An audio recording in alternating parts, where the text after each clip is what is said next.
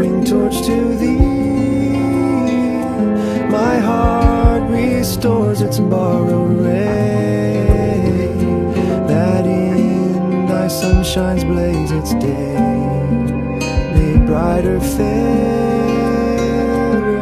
be.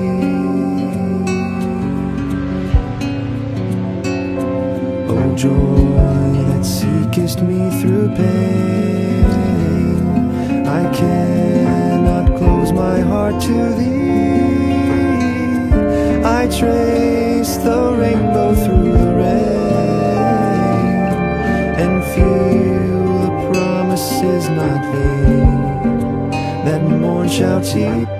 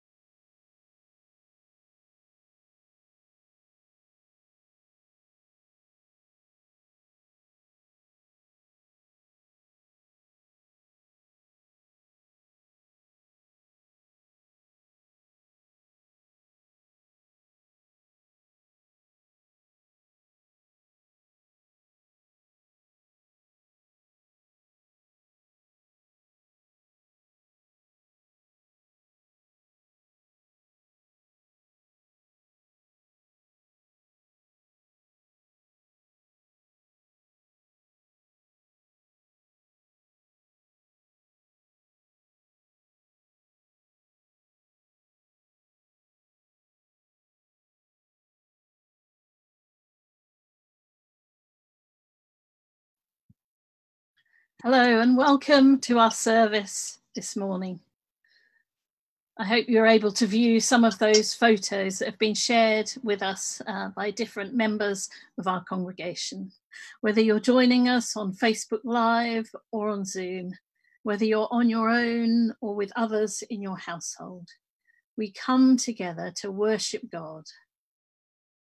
We're going to be thinking about Easter encounters today as we look at some of the stories from the post uh, resurrection uh, time.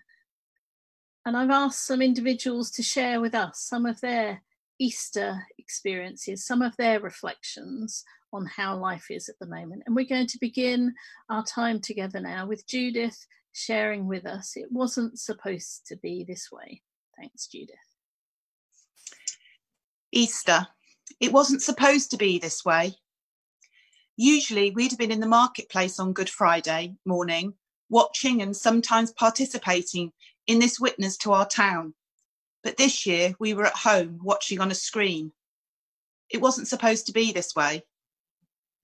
Easter weekend is usually busy as David, our eldest son, would be home and my mum would be staying too, but not this year. It wasn't supposed to be this way. We couldn't greet folk and wish, wish them a happy Easter, as we usually would at church. The buzz at the beginning of the service was different as people joined via Zoom and talked across one another and noisily settled themselves into their houses, forgetting to turn off the microphone. It wasn't supposed to be this way. The ham was cooking, but there were no extra mouths to feed. We made do with a Zoom lunch with David and my mum and John's parents joining us. But this isn't our usual Easter lunch. I sat on my sofa with a cup of coffee in hand, watching our Easter service. The lonely sound of my voice singing worship songs, desperately wishing I could say Happy Easter to our church family. It wasn't supposed to feel this way. It wasn't supposed to be this way. But that's the beauty of the gospel message. Sin wasn't supposed to enter God's perfect creation. The disciples didn't think Jesus was supposed to die on a cross, but God had a plan. He took what wasn't supposed to be and turned it into a beautiful story of redemption. The resurrection of God's only Son changed everything. And He wants to do that in each of our lives. He wants to redeem whatever is in your life that wasn't supposed to be job loss, unplanned pregnancy, cancer, divorce, abuse, death, depression, anxiety, difficult relationships, pain, sadness, loss. Christ died on the cross to redeem your story. His love conquers all, even the stuff that wasn't meant to be. From John 3 16. For God so loved the world that he gave his one and only Son, that whoever believes in him shall not perish but have eternal life. Thanks, Judith. When Jesus appeared to Mary Magdalene after his resurrection, he says, Don't cling to me, for I haven't yet ascended to the Father, but go, find my brothers and tell them I am ascending to my Father and your Father, to my God and your God. Mary Magdalene found the disciples and told them, I have seen the Lord. And in this week after Easter, I hope you too are able to proclaim with joy, I have seen the Lord. One of the early church fathers, Bishop Augustine, said, We are Easter people Alleluia is our song. And I'd like you to share in our responsive reading. It will hopefully appear uh, on your screen as I read some verses from Deuteronomy. And Amanda is going to lead you in the response in bold that you see. We are Easter people. Alleluia is our song. Alleluia. So. The Lord your God is the greatest God of all. He is the greatest Lord of all. He is the great God. He is mighty and wonderful. He treats everyone the same. He doesn't accept any money from those who want special favors. We are Easter people. Hallelujah is our song. Hallelujah. He stands up for widows and for children whose fathers have died. He loves outsiders living among you. He gives them food and clothes. So you also must love outsiders. Remember that you yourselves were outsiders in Egypt. We are Easter people. Hallelujah is our song. Hallelujah. Honor the Lord your God, serve him, remain true to him. When you make promises, do so in his name. He is the one you should praise. He's your God. With your own eyes, you saw the great and amazing things he did for you. We are Easter people. Hallelujah is our song. Hallelujah. Amen. And now Gordon is going to lead us in, uh, Gordon and Bec, in fact, are going to lead us in our opening time of worship. Over to you, Gordon.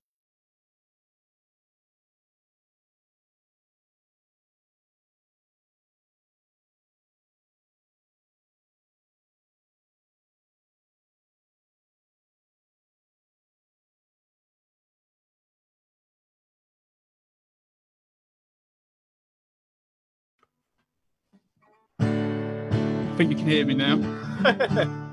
Yay, good. Some thumbs up. Here we go. Let's praise Him before the throne of God above.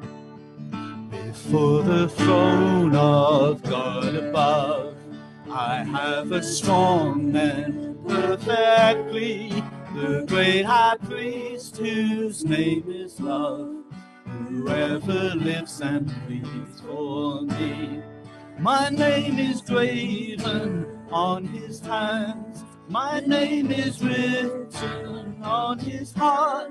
I know that while in heaven he stands, no tongue can bid me hence depart. No tongue can bid me hence depart. When Satan tempts me to despair, and tells me of the guilt within. Upward I look and see him there, who made an end to all my sin. Because the sinless Savior died, my sinful soul is counted free. For God the just is satisfied to look on him and pardon me look on him and pardon.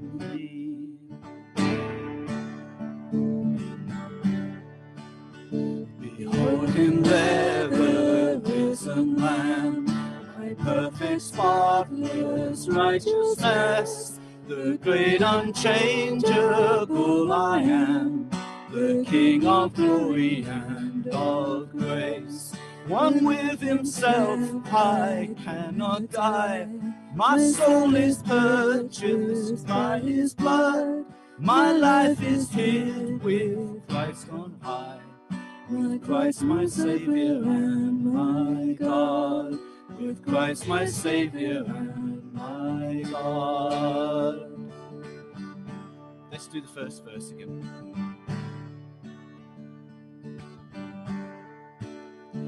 Before the throne of God above, A strong and perfectly. The great high priest whose name is love, whoever lives and breathes for me. My name is graven on his hands, my name is written on his heart. I know that while in heaven he stands, no tongue can bid me hence depart. No tongue can bid me hence depart.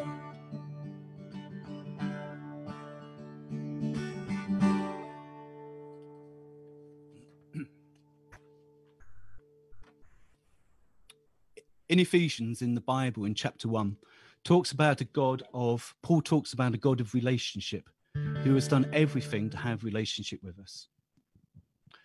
Verse 7 of Ephesians 1 says, He is so rich in kindness and grace that he purchased our freedom with the blood of his Son and forgave our sins.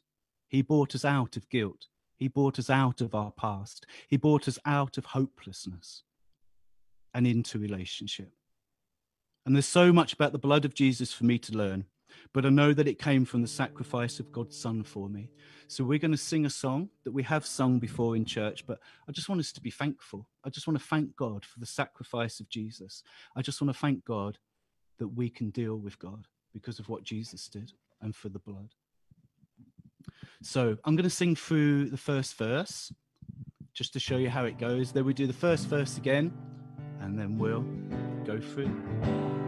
Just with a heart that is thankful, Jesus, for what you've done for us and the power of your resurrection and the power of your blood to heal and to clean and to restore.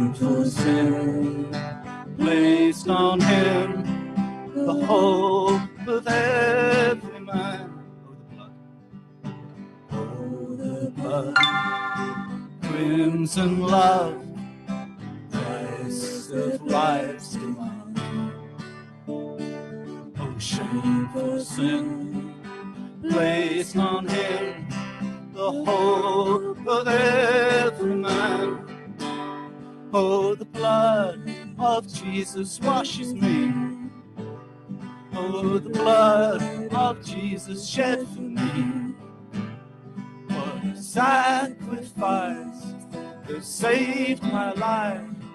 Yes, the blood, it is my victory. Savior Son.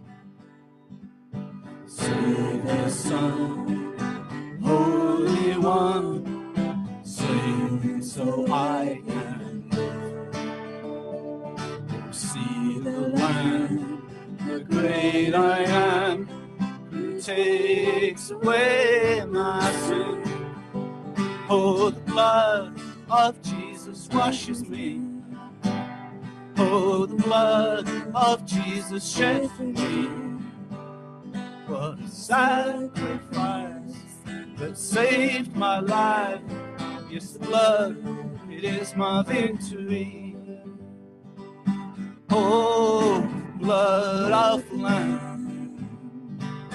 Oh, blood of Lamb.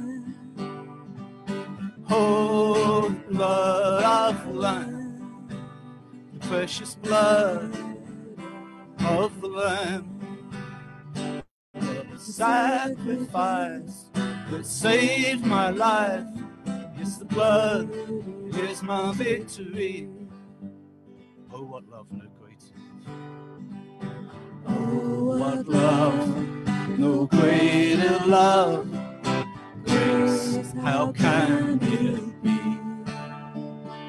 That in my sin, even land. He shed his blood for me. Oh, the blood of Jesus washes me. Oh, the blood of Jesus shed for me. What a sacrifice that saved my life. Yes, the blood is my victory. Oh, the blood of Jesus washes me. Oh, the blood of Jesus shed for me. What a sacrifice that saved my life. Yes, the blood, it is my victory.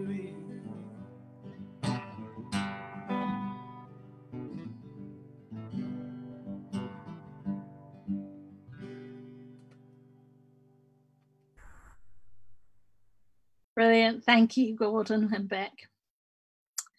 Now we're thinking today about seeing Jesus, and Jesus' followers discovered that everything looked different after Jesus died. They needed to look more closely at what Jesus had said to them, to try and remember the things he talked about, the ways he'd been, and see it all in a new light. They needed a different perspective. And so I'm wondering, how observant are you? And children, I'm wanting you uh, particularly to be involved here, but adults as well, because what we've got is we've got 10 pictures which we're going to show you. And what you'll do is you'll see a small part of the image, firstly, and I want you to try and identify what the whole object is you're looking at just by seeing a bit of it close up. So, John, perhaps if we can have the first image. Okay, can anyone identify what that is?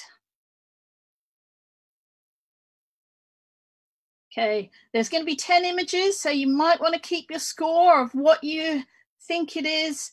Okay, let's see the full picture.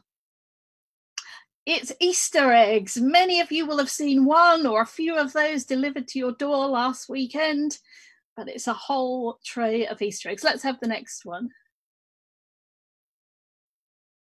Okay, maybe this one's a bit easier. What do you think that is?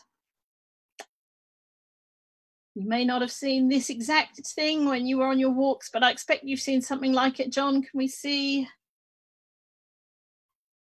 It's a park bench. There we go. How are you doing? Let's go on to the next one. Can you tell what this is? It's probably quite a dark image. A lot of green, a bit of black. Let's see what it is.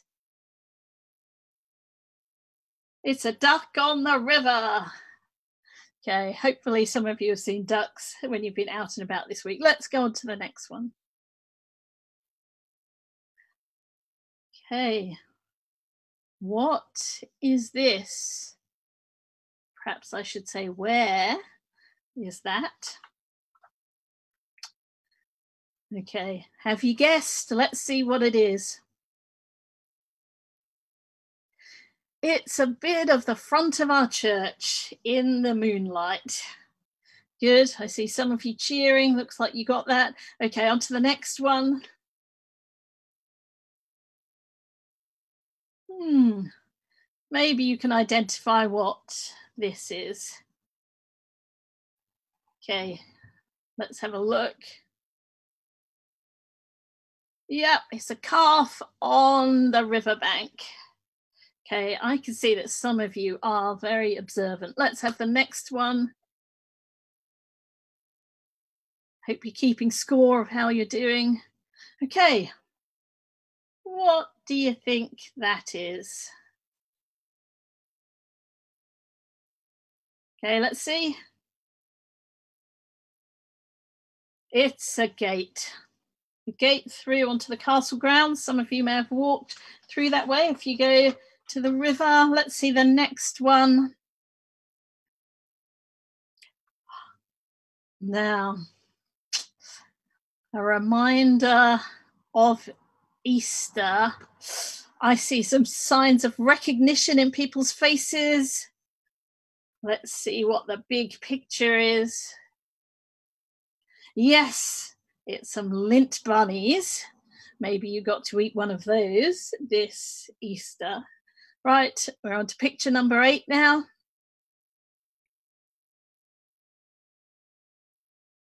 Oh, there we go. Now, what is that? Okay, and let's see the big picture. It's a dandelion. Right, and now on to picture number nine.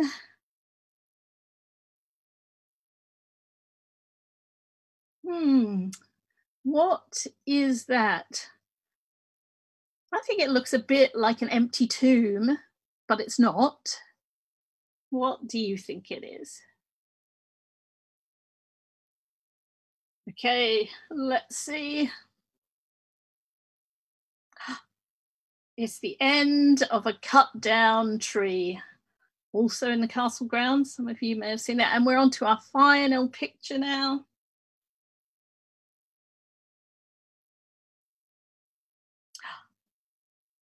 Can you tell what that is. It's a nice sunny colour, isn't it? What do you think it is? Okay, let's see. It's a daffodil, a beautiful spring flower. Right, I reckon some of you have done pretty well. I don't know if you want to hold up the number of fingers of how many you think you got right. Do you think you got all? Oh, I see eight. Oh, that looks like a four from somebody. Anyway, well done if you managed to observe those close up images. Because we need to look closely sometimes at things. We, we've got time to observe things, and sometimes it helps us to see things differently. I'm hoping that we are now going to be able to see the story of what happened to two of Jesus's followers who'd struggled to really see what was going on. Uh, as you know, we've been struggling with sound, so uh, just uh, see whether we can manage to share this story with you.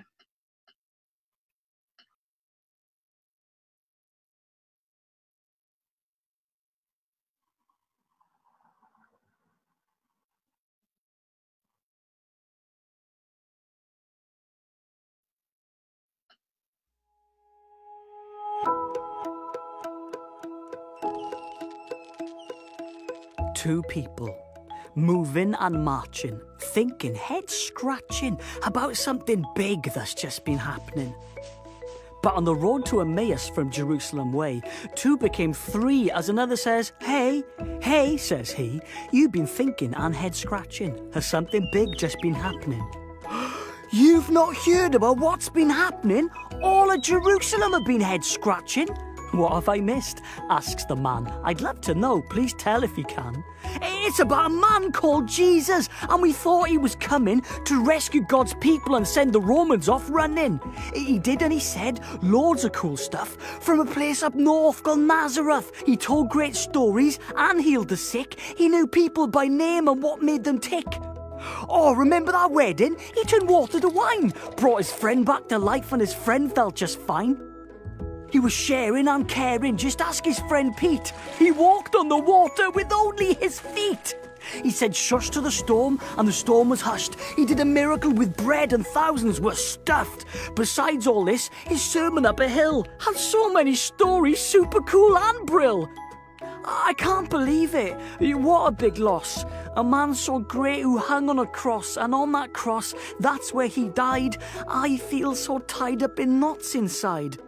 And three days have passed, though it feels more like empty, because now we've heard that his tomb is empty. That's right, you heard me. His body is gone. But who'd take his body? He never did wrong.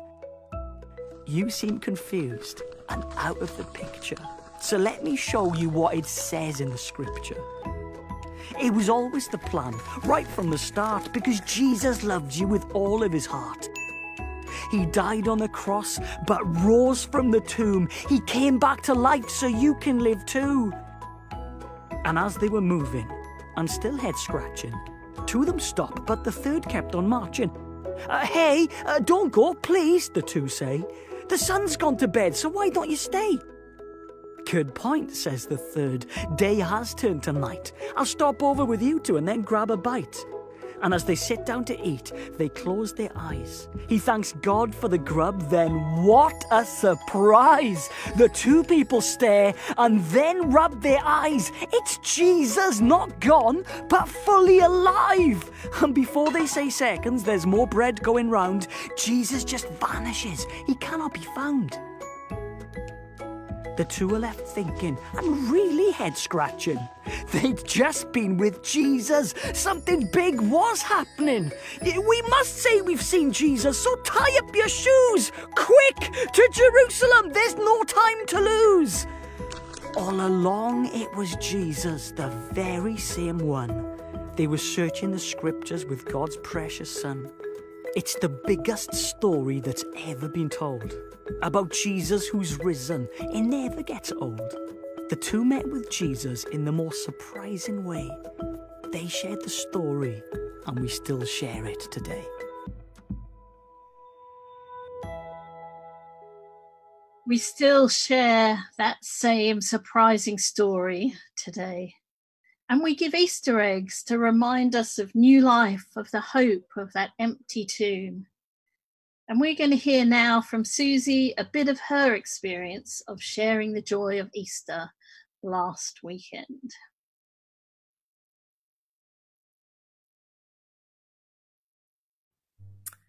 Hi, everyone.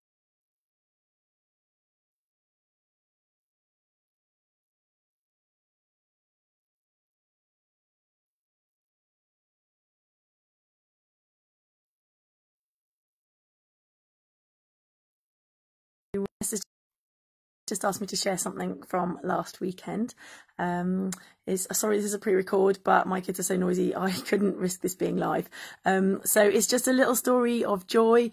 Um, I had some really lovely responses after we shared out Easter eggs as a church last weekend. Um, we were one of the families who were fortunate enough to be able to take them round to different people, and it was such a lovely thing to do. Um, and uh, yeah, one of the Easter eggs we took to a uh, friend from Toddlers. She's a single mum who's recently moved to Wallingford, and um, she'd been really busy in the run up to Easter and she'd got kind of a bit panicked by the lockdown and the shops not being open because it was a bank holiday weekend. And she said how she'd got everything together, all the food in for the weekend and everything, but she had forgotten to buy her son an Easter egg.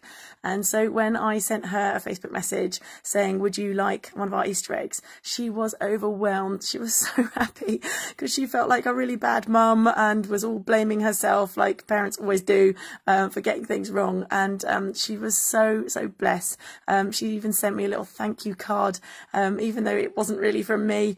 Um, but yeah, she was really, really blessed by the fact that we thought of her and taken her an Easter egg. So her son had an Easter egg on Easter Sunday.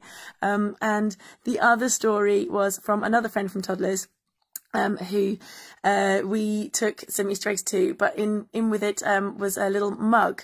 Um, some of the things that Esther had given us were extra bits and pieces, and some were mugs. And um, I just un- I just put one in uh, for this friend of mine and taken it round, left it with her. And then Easter Sunday got a message from her saying she was really, really excited because only a couple of weeks ago she had broken her favourite uh, mug that she drinks her tea from in the mornings and that this was a new mug that could replace that old mug. And she was really blessed by it.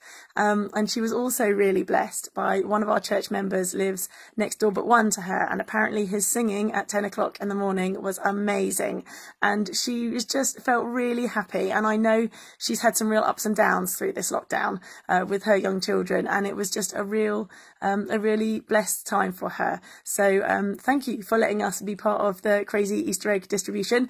And um, it was really good fun. And it was just lovely to hear some really good stories in this really rather crazy time where everyone doesn't quite know how to feel. Um, but it was it was lovely. So thank you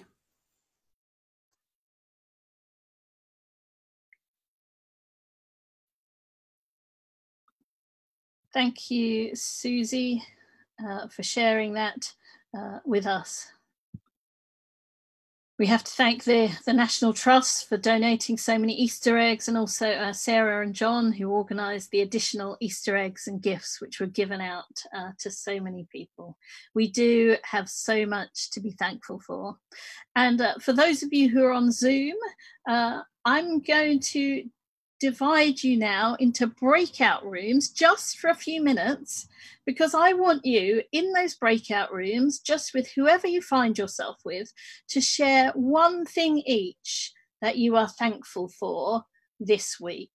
Uh, if someone uh, who's in that group can uh, write it in the chat window, that would be fantastic. Uh, but if you don't know how to do that, don't worry. We're going to use those things that you have talked about. Uh, I'm going to pray together for us all at the end of the time in the breakout room. So just share one thing. If you're on Facebook Live, sorry you won't be able to be part of a breakout room, but please take this time to think about what you're thankful for today and we'll be back with you before you know it. So off you go to breakout rooms. One thing that you're thankful for.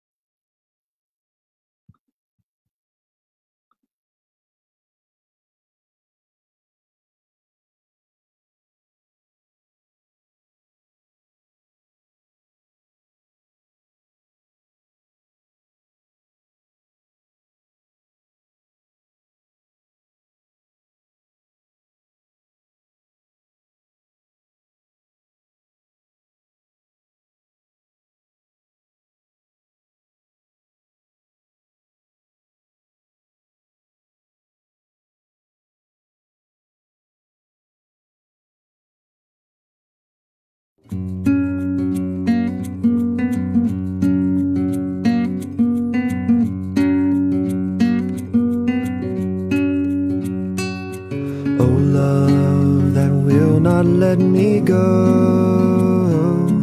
I rest my weary soul in thee. I give thee back the life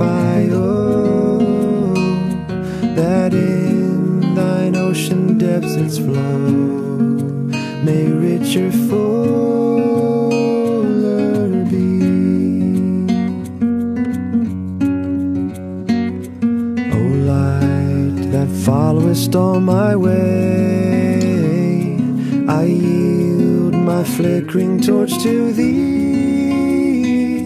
My heart restores its borrowed ray, that in thy sunshine's blaze its day may brighter, fairer be. O joy that seekest me through pain, I cannot close my heart to thee. I trace the rainbow through the rain and feel the promise is not vain that morn shall tearless be.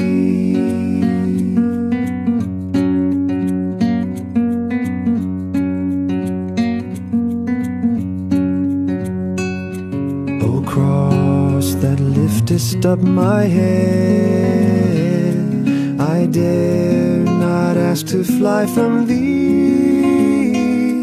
I lay in dust life's glory dead, and from the ground there blossoms red life that shall endless peace, life that shall endless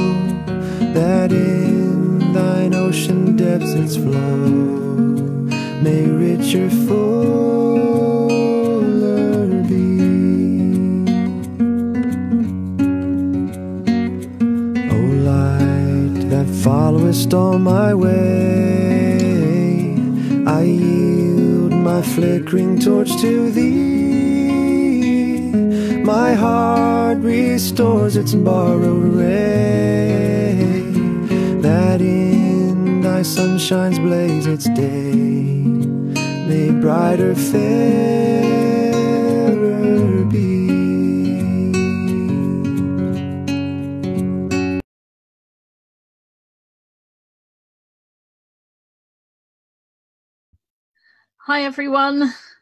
I hope that you've had a, a good time to chat, to share things that you're thankful for. Uh, certainly, I enjoyed uh, sharing with those who were in my room.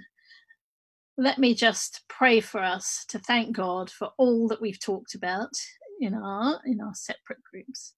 Lord Jesus, we thank you that you are such a good God. We thank you for all the good things we've experienced this week, for the things that have been mentioned in all the groups as we've discussed. Lord, I'm sure that many people have mentioned the good weather, the opportunity to spend time with family, being able to be out on bike rides and walks, seeing the beauty of your creation. Lord, we're thankful for all the people who are helping us, for the NHS, for our health. Lord, we thank you for the opportunity that this time, this break from going into work has given uh, to make changes, perhaps in medication or in ways our illnesses are dealt with.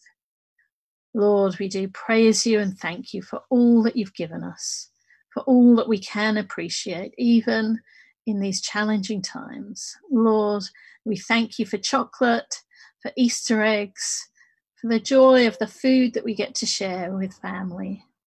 And Lord, we thank you for this opportunity to be together via technology. We thank you for all those who've helped us with technology.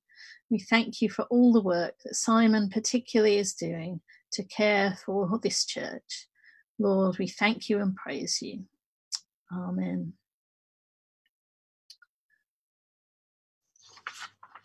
So, uh, I think we're going to sing again now a song that children uh, enjoy singing. Uh, Waymaker, over to you.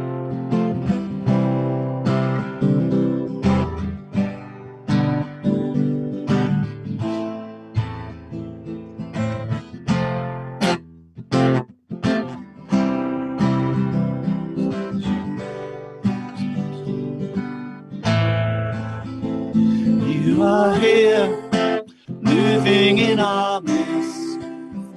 I worship you. I worship you. You are here, working in this place. I worship you. I worship you. You are here. You are here, moving in our midst. Oh, I worship you. I worship you. You are here, working in this place. Oh, I worship you. I worship you. You are waymaker, miracle worker, promise keeper, light in the darkness. My God, that is who you are. You are waymaker, miracle worker, promise keeper, light in the darkness. My God, that is who you are. You are here, touching every heart. Oh, I worship you.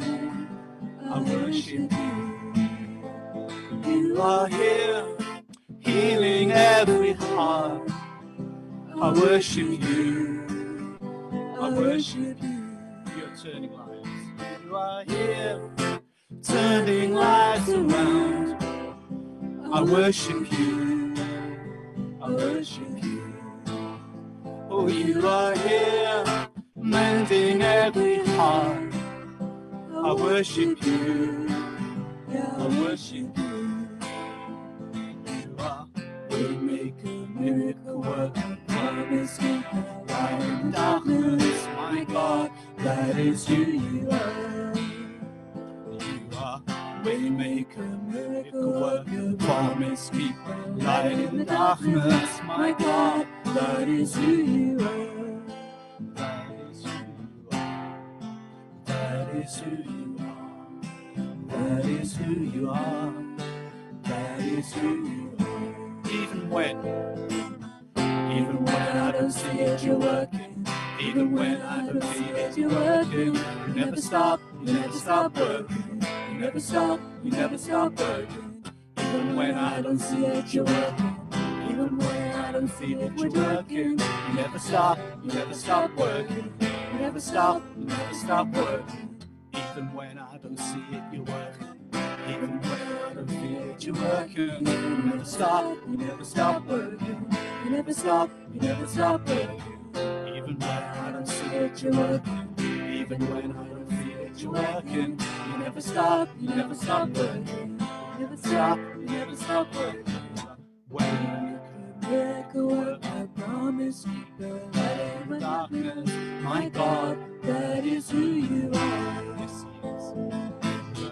Waymaker, miracle worker, promise keeper, light in the darkness. My God, that is who you are. So we worship a God who is able. So what I'm going to do is I'm just going to play through the chords. Just in the quietness of your heart or loud in your own home just pray for somebody you know who is sick, somebody who you want to meet Jesus in a powerful way. And then we're joined back together. Just say his name into the presence because he wants to hear us. And he can do more than we can ever, ever imagine. That's our God. And this is a special time. Let's lift those people up to him. Just while I play through, just say those names out loud. Give him those people that sickness, that illness, that concern. Those people that he died for, those people that he loves, those people that he lives for.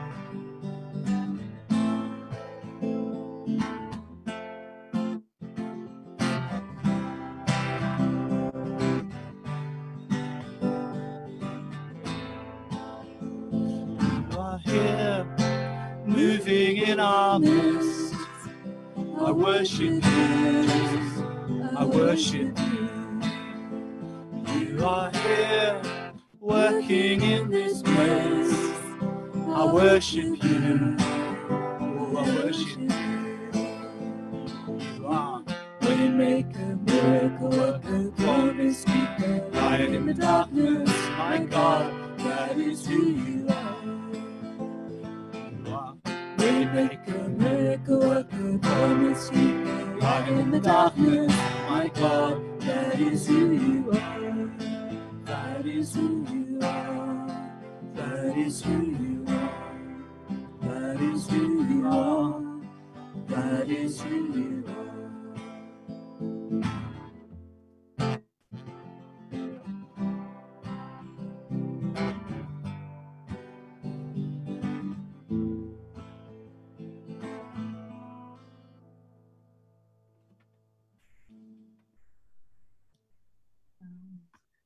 And now Nick Goff is going to bring to us our Bible reading from John's Gospel. Thanks. So this is John chapter 20, beginning at verse 19, uh, if you want to find it for yourself. Jesus appears to his disciples.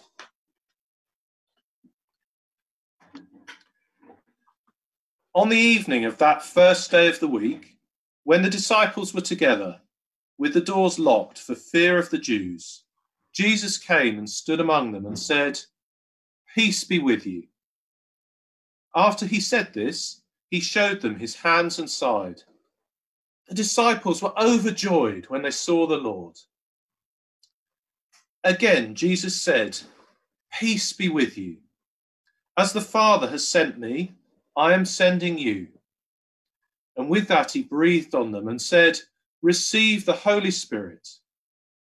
If you forgive anyone his sins, they are forgiven. If you do not forgive them, they are not forgiven. Now, Thomas, called Didymus, one of the twelve, was not with the disciples when Jesus came. So the other disciples told him, We have seen the Lord. But he said to them, Unless I see the nail marks in his hands, and put my finger where the nails were, and put my hand into his side, I will not believe it. A week later, his disciples were in the house again, and Thomas was with them. Though the doors were locked, Jesus came and stood among them and said, Peace be with you. Then he said to Thomas, Put your finger here, see my hands. Reach out your hand and put it into my side. Stop doubting and believe. Thomas said to him, My Lord and my God. Then Jesus told him, Because you have seen me, you have believed. Blessed are those who have not seen and yet have believed. Thank you, Nick. And now, children, if you want to go and uh, do the activities that have been suggested for you, if you haven't seen uh, that email from me, then perhaps you might want to draw a picture of the uh, story we heard, the seriously surprising story, or perhaps something from that reading that we've just had. Gordon is now going to share with us a poem that he's written The Cross, the Blood, the Throne.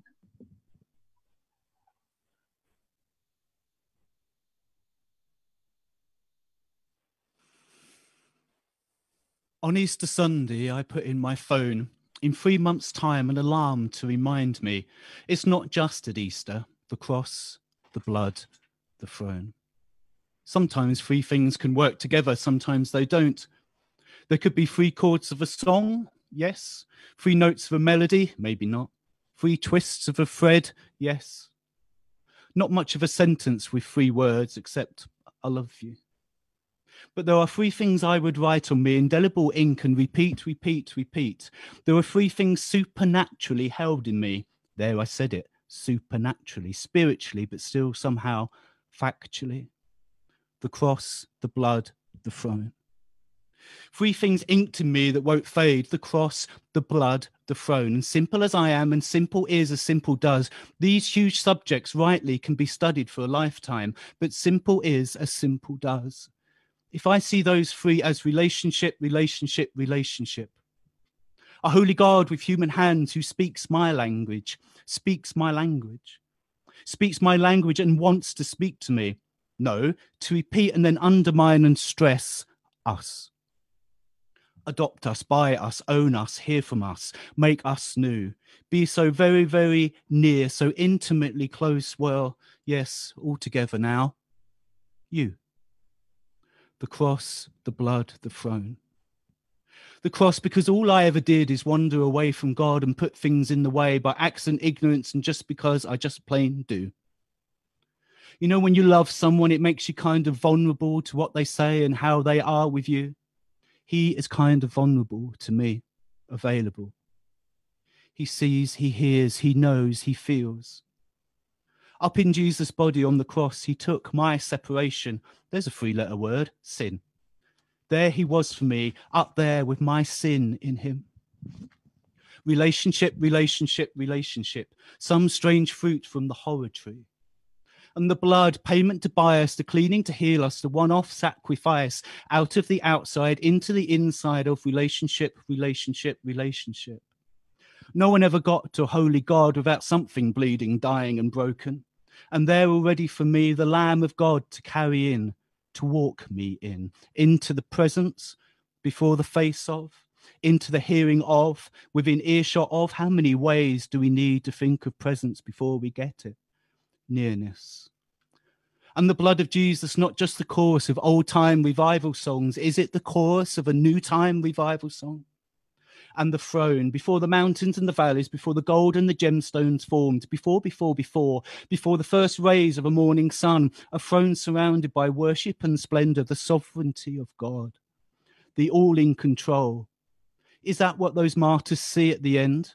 I hope that's what those martyrs see at the end as if a crown could be put around everything, as if under a name like no other name, the very name was a crown.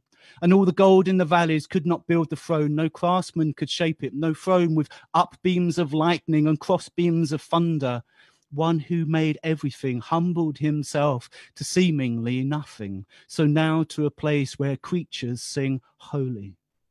There drawn on pavements in chalk to be washed away. There in the hymn books and up on the mega church mega screens. Crashing the social and so unsocial media. The cross, the blood, the throne. Written on palaces and lockups and prison cells. Relationship, relationship, relationship. And I in some way am joined to all three.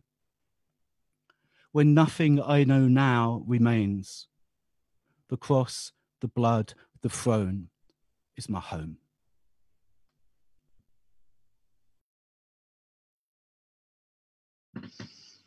Thank you, Gordon.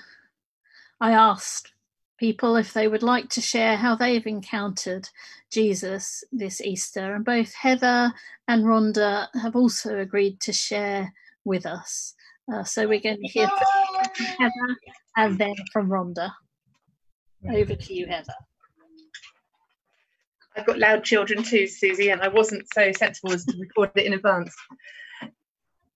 Okay, so um, I think the thing that struck me most over Easter was something written by a friend of mine who's the um, executive director of um, United Mission to Nepal. And um, I met him in Nepal, in fact, 20 years ago this Easter. And uh, when we think about the hospitals in this country being slightly overwhelmed, um, the first time I went to a, a hospital in Nepal, it was um, a United Mission hospital, and there were people lying in the corridors because there weren't enough beds. Um, they didn't um, give food to the people. Um, the, basically, the families had to be next to the hospital and providing food for them. It's a very different situation to the situation that we're in. And most people try to pay for their care, although obviously they do um, uh, care for people who can't pay as well. Um, but the situation they're in now is that people are staying away from the hospitals to avoid infection. So there's lots of people who aren't getting treated, and as a result, the people who work in the hospitals aren't being um, aren't being aren't, aren't going to be able to be paid um, long term, and so then there won't be care when they are overwhelmed with a pandemic. So he's writing from a really really tricky situation where he's trying to coordinate the the response to the the crisis but it's it's a really weird situation to be somewhere that's normally as busy and buzzing as Kathmandu and to see nobody in the streets. And something that he wrote um, really struck me. He said, We can't gather to celebrate like we used to. But that's more like it was the first morning as well. Grieving witnesses in ones and twos, only slowly realizing that their world had been transformed and the way of the cross had become the way of glory. He is not here, he has risen.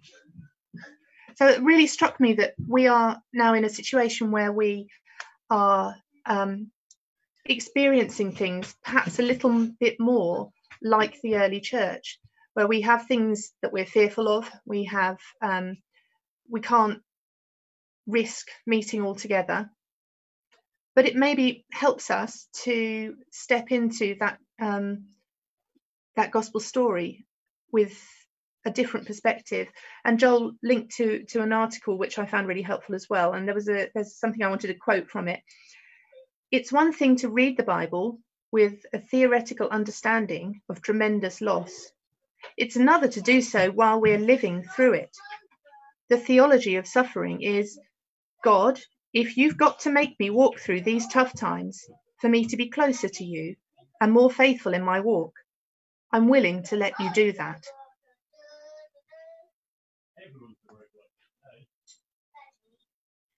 Thank you, thank you, Heather. um, I don't know if you realised you were being photobombed by a child behind you at various. Yeah, I was trying to ignore that. well done for keeping going. You know how it feels now to be a news reporter. Uh, over to you, Rhonda. So I didn't think that I had anything particular to share about Easter, um, apart from the normal things when Esther first asked this week. But while I was sorting out a drawer, um, one of the many drawers that um, I've been able to sort out this week, um, it had loads of cards and notes in it from over the years. And I came across one card that had been sent to me after my mum's um, funeral. The words had been written by someone who had journeyed with us as a family right from the beginning when mum was first diagnosed with dementia 10 years before. The words were encouraging and comforting, and at the end, the card said the words, He makes everything beautiful in His time, and that He will show me beauty out of ashes. At the time of reading them originally, I knew in my head that this was true, but in my heart, it was hard to embrace the words as I was still hurting so much. As I reread them two years on and pondered them, it struck me how much these words applied to Easter, and in particular this Easter. The fact that Jesus dying on the cross was ugly, painful, was surrounded with a sense of despair, hopelessness, of confusion for the disciples, and those who knew and loved Jesus, of broken dreams, hopes, and hearts, of bleakness and sorrow, all things that I had felt during Mum's long illness and then her death. I knew she was with her Saviour, and I rejoiced that she was free and made whole, and that I would see her again. But in the middle of human grief, it was still hard to see how Jesus would make everything beautiful again after all those years. But now, two years on, those same words reminded me of how God has mended, how He has healed, He has brought restoration, and He has brought beauty and hope back. All things that He did on the cross and through His resurrection. Easter does bring beauty out of ashes, out of our ashes. We are not left in that place of despair, brokenness, and helplessness. God reminded me of the love, purpose, hope, and certainty of knowing Him that I have, of being able to trust Him in all things, even when, like at the cross, I couldn't see the outcome. If He can turn the ugliness of the cross his death into something beautiful, then there is hope in all our lives and situations. And there is always beauty that will follow because of Jesus, and often in ways that we don't expect.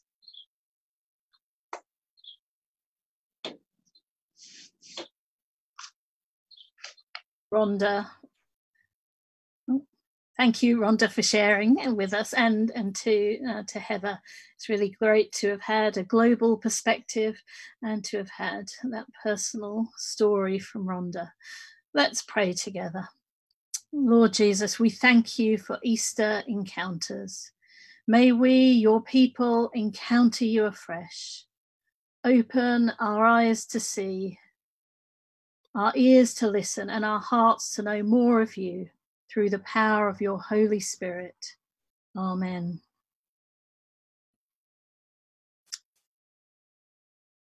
How did Jesus' followers experience that first Easter? Was their experience like that related by Judith at the beginning of our service?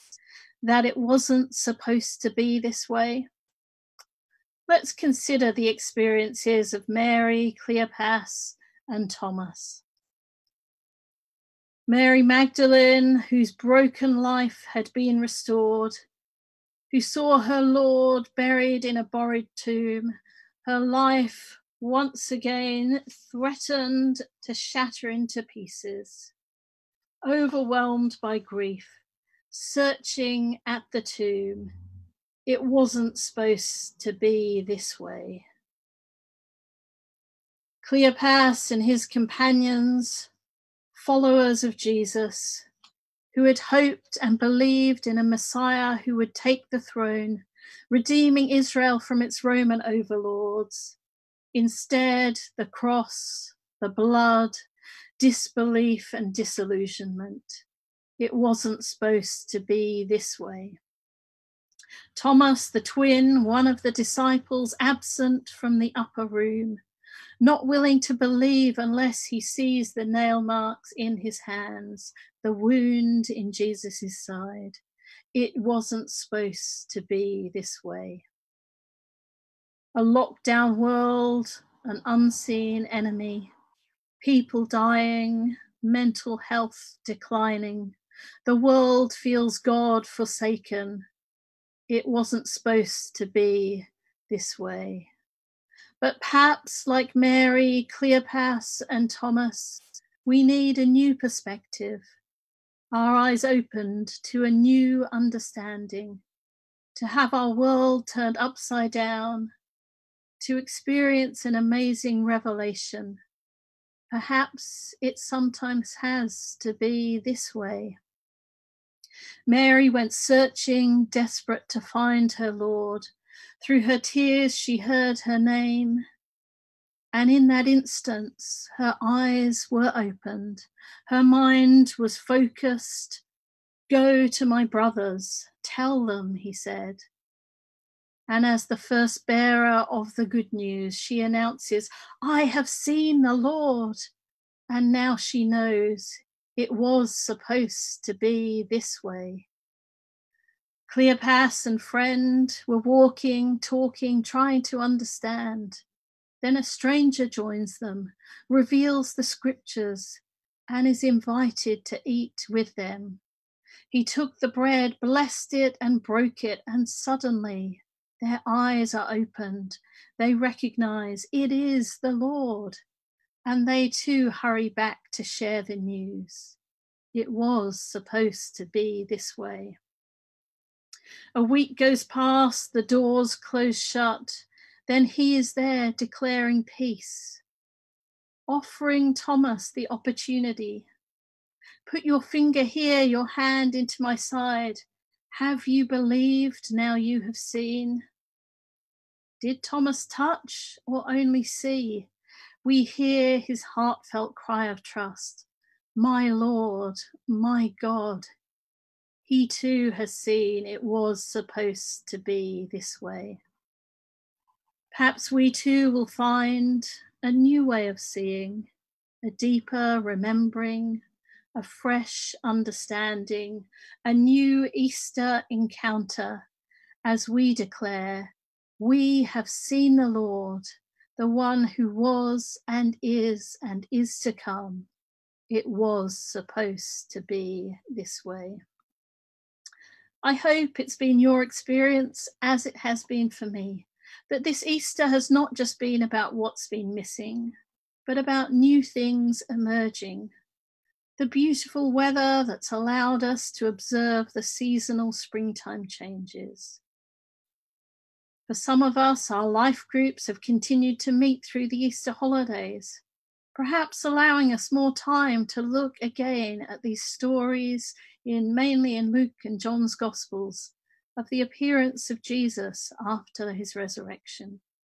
And I've valued the time to revisit these stories because they're some of my most favorite stories in the whole Bible. I love the truthfulness of them, the way they describe the fear and confusion experienced by all of Jesus' followers as their world was turned upside down.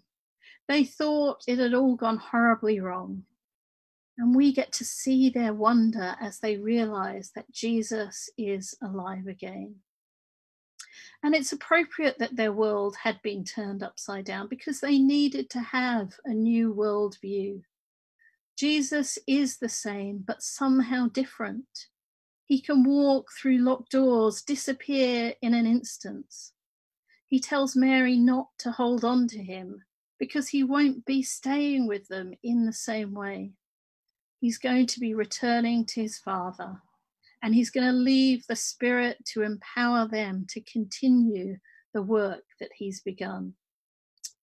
And as I've thought about these stories in this week, there's just three things I want to share with you that have come to me as I've looked again at these familiar stories.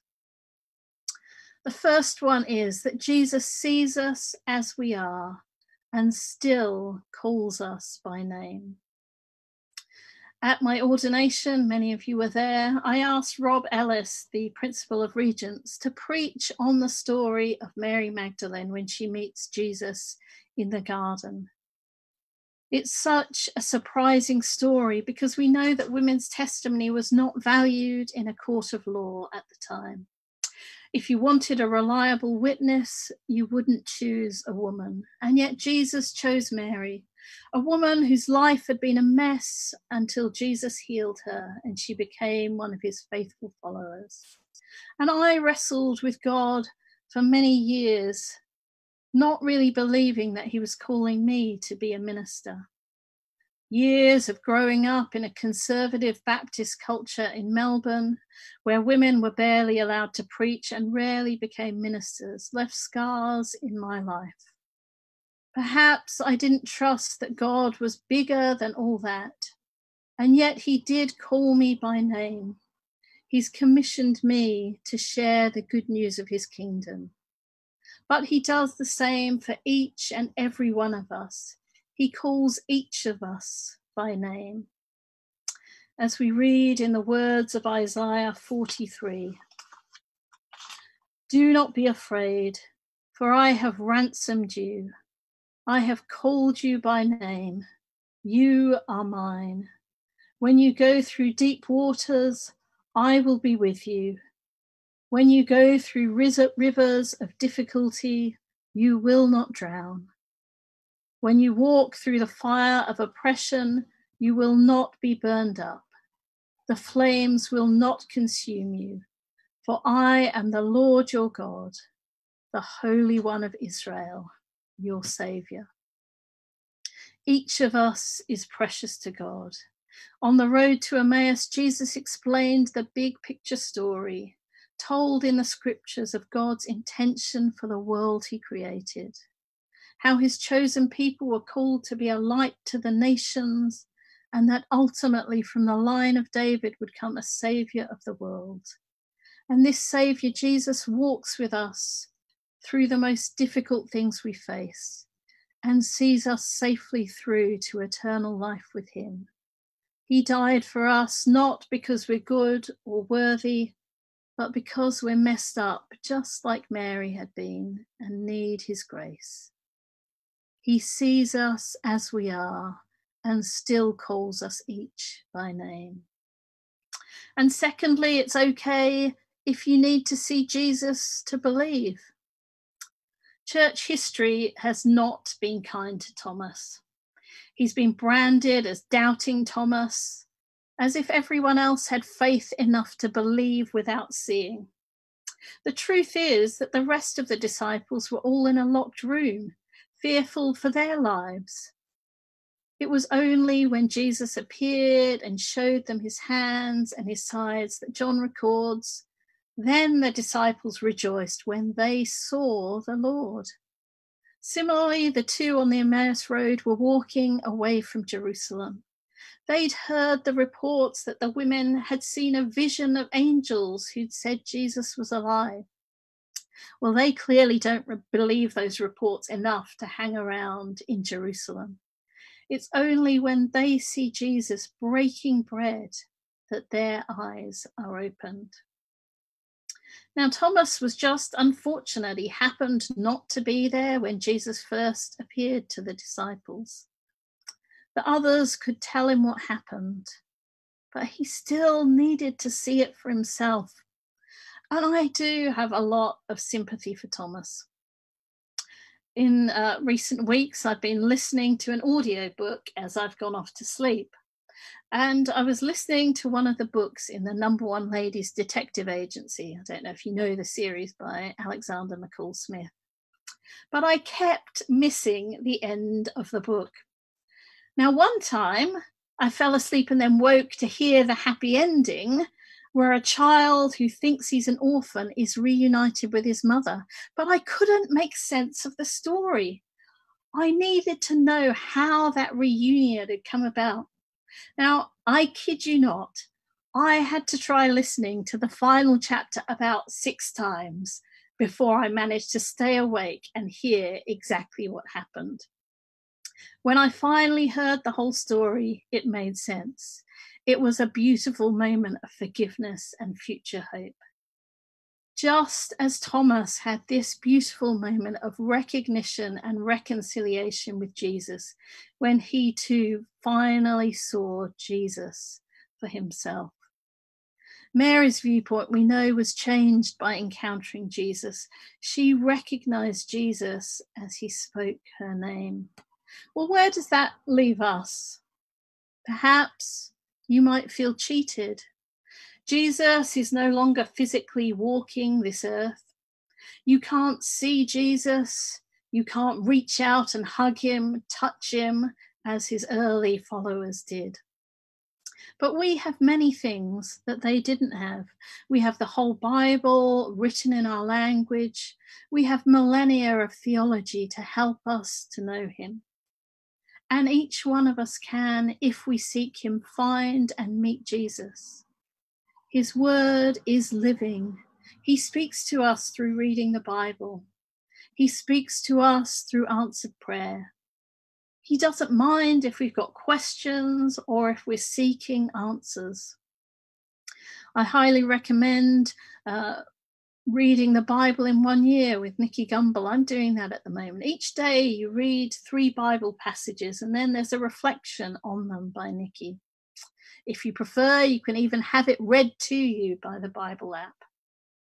And as you'll know, Nicky Gumbel has devoted his life to helping people meet Jesus through the Alpha course. He's convinced that you can see Jesus. So seek God, ask Him to meet you in your walks, in your dreams, in your Bible reading, and see how He reveals Himself to you. We heard last week, and I hope you were with us to hear it, as Norma spoke and told us her story of how she met Jesus. She'd begun to know Jesus through attending church and by reading the New Testament. But it was only in the awfulness of her daughter's accident and death that Norma experienced the closeness of God's presence with her, supporting her and giving her hope in her grief. Now, many of you will have heard me speak about the day when my mother in law, Shirley, died. She had terminal cancer, and we'd gone to Australia to visit her. In the end, she died in hospital very suddenly. Her daughter had been called and was flying in from another part of Australia. And I had to go to the airport to meet my sister in law and tell her the news of her mum's death. As I drove to the airport, there was a rainbow which stretched over the airport and the hospital in which my mother in law Shirley had just died. And just as today people are making rainbows and using them as a sign of hope, I saw that rainbow and knew that God was showing us that there was hope and life even in the awfulness of grief. And when I met my sister in law as she came off the plane, she told me she too had seen that rainbow and she knew that her mum was safe in God's hands.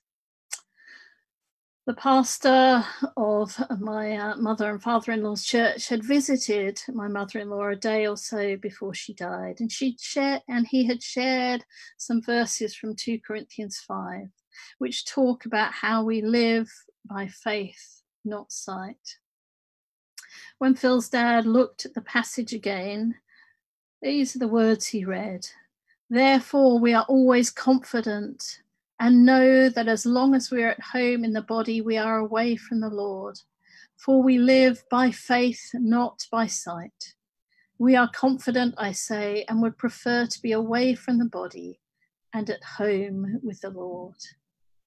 And he was comforted by knowing that Shirley was no longer needing to walk just by faith. She was now at home with the Lord, seeing him face to face. And one day we will all see him face to face. But we can know his presence with us as we seek him in faith. And finally, Jesus calls us to help others see.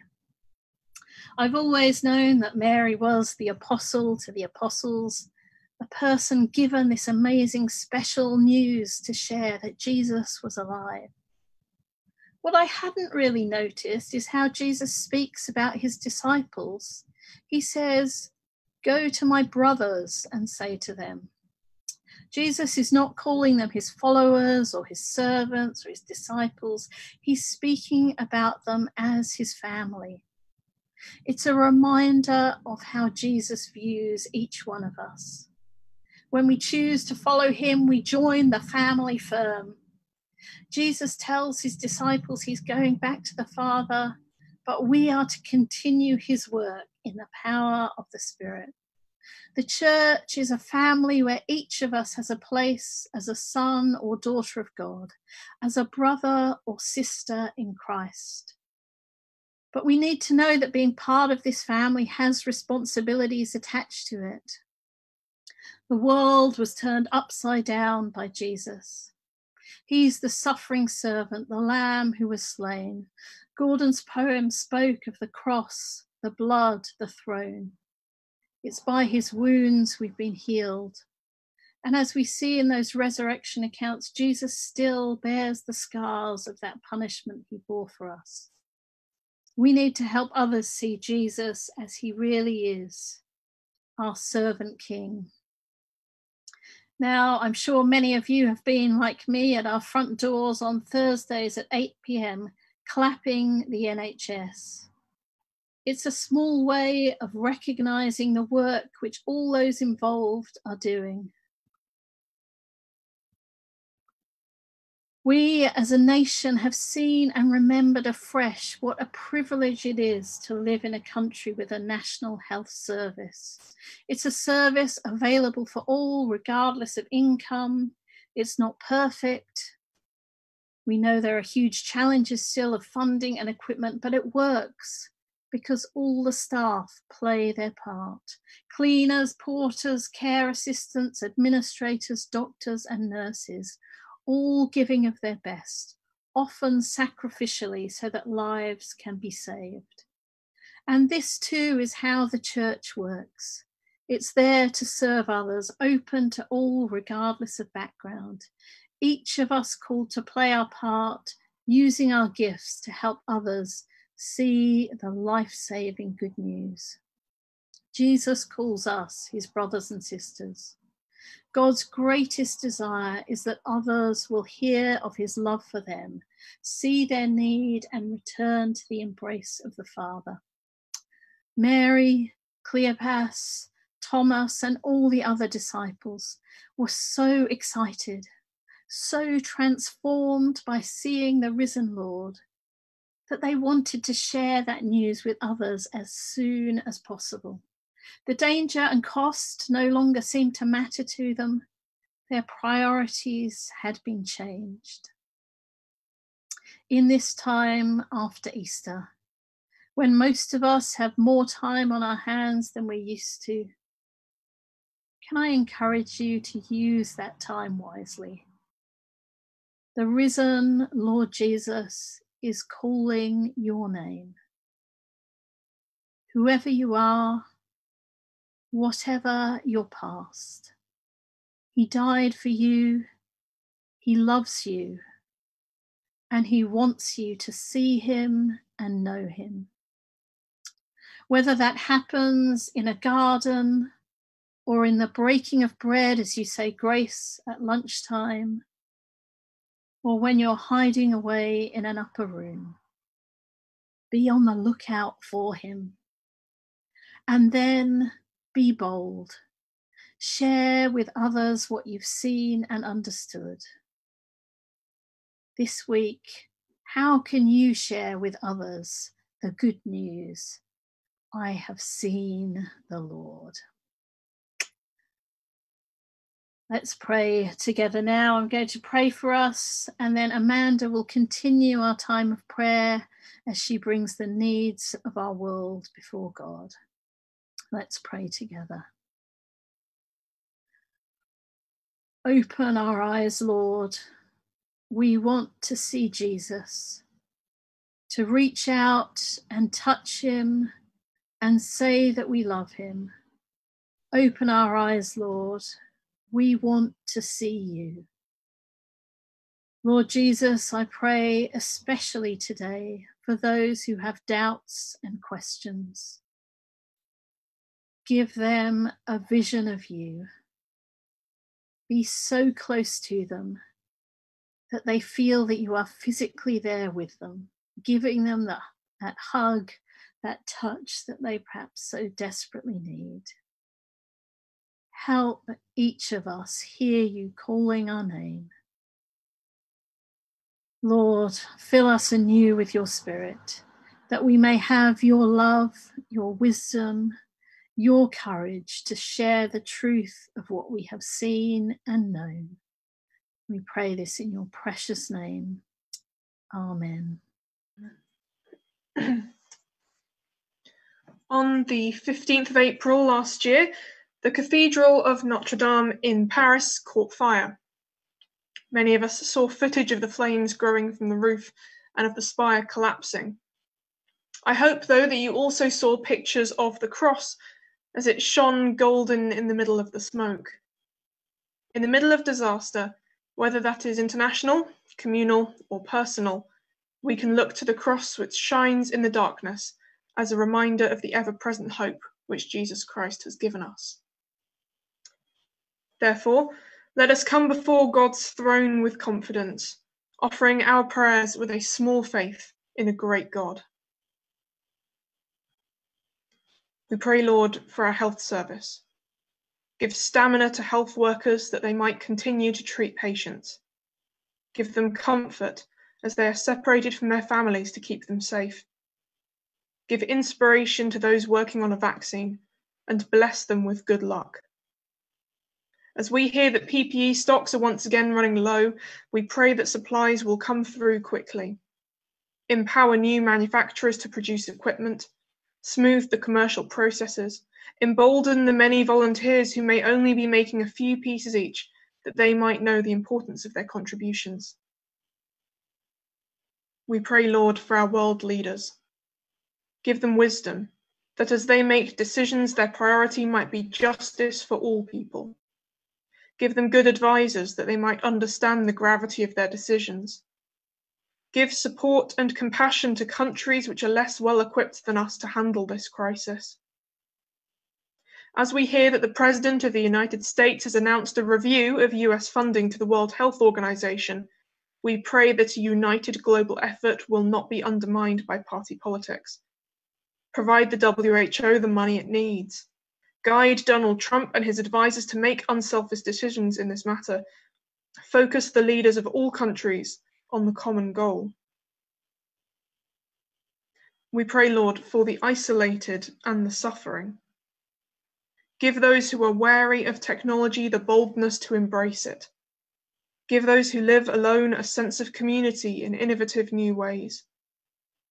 Give resilience to those suffering with their mental health and give them courage to seek help.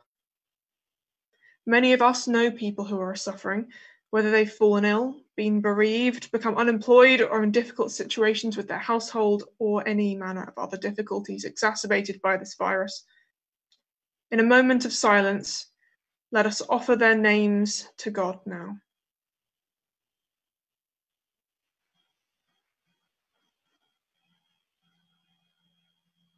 Father, heal their hurts. We pray, Lord, for all the ways in which life goes on. We pray for the ongoing recovery from the earthquake in Croatia. We pray for the work still ongoing to repair the Gulf Coast after the oil spill 10 years ago. We pray for all the events all over the world that our news channels are now too preoccupied to notice. We pray for the daily struggles of our households and of all households. As you shine through the darkness, we hold firm to your promises. May your kingdom come, and not our will, but yours be done. We pray these prayers in the name of Jesus Christ. Amen.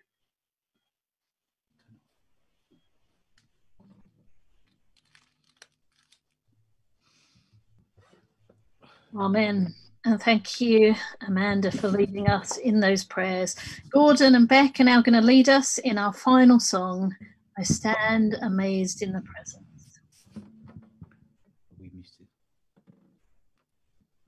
Hello, everyone.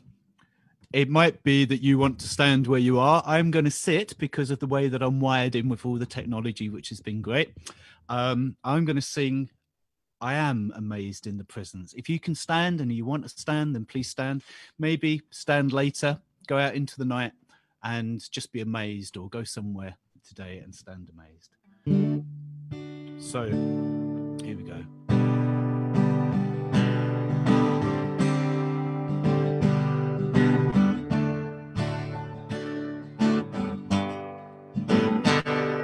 I stand amazed in the presence of Jesus Nazarene. I wonder how he could love a sinner condemned unclean. How marvelous, how wonderful, and my song shall ever be. How marvelous, how wonderful is my Savior's love for me. He took my sins and my sorrows and made them very own. He bore my burdens to Calvary and suffered died alone. How marvelous, how wonderful, and my song shall ever be. How marvelous, how wonderful is my Savior's love for me. When with ransomed in glory, his face I at last shall see. It will be my joy through the ages to sing of his love for me. How marvelous, how wonderful, and my song shall ever be. How marvelous, how wonderful is my Savior's love for me. I am amazed in the presence of Jesus the Nazarene. I wonder how he could love me, a sinner condemned and unclean. How marvelous, how wonderful, and my song shall ever be. How marvelous, how wonderful is my Savior's love for me.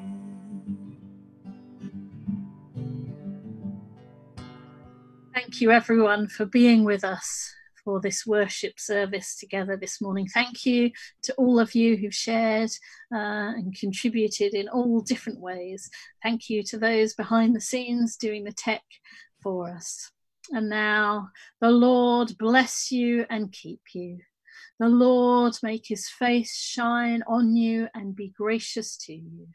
The Lord turn his face toward you and give you peace. Amen.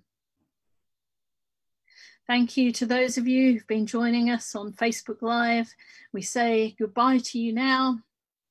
And shortly, uh, those who are still with us on Zoom uh, will be dividing into breakout rooms so you can just have a bit of a chat with those uh, in a smaller group setting.